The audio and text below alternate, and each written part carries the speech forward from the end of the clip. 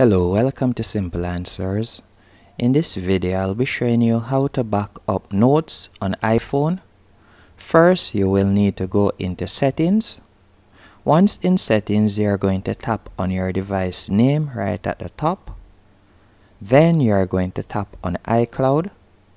After selecting iCloud, you're going to scroll down until you see notes as you can see right here and you want to ensure that it is toggled on. Once you turn it on, your notes will automatically be backed up to iCloud. So now if you should go into notes, for example here, you will see all iCloud.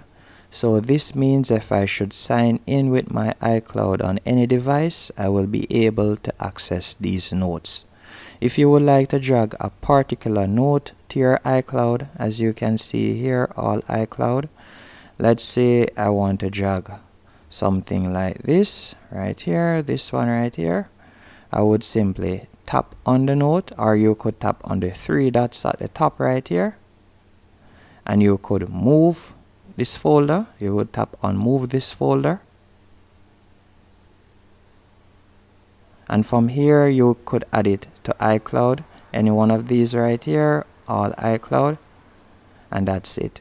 Hope you found this video helpful and informative. If you did be sure to hit the like button and subscribe and thank you for watching